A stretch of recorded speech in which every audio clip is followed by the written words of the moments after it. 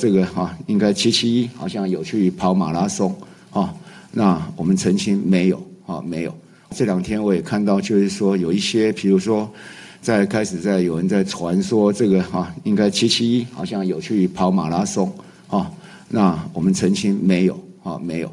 好，那我们是担心说，类似像这样的讯息，不断的可能是真真假假的讯息，那在社会中流传，造成恐慌。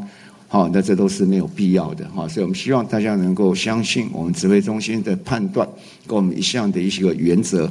好，我们把有防治需要，而且没有办法掌握的这些讯息，我们会跟大家来公布。好，那其余的我们就不公布。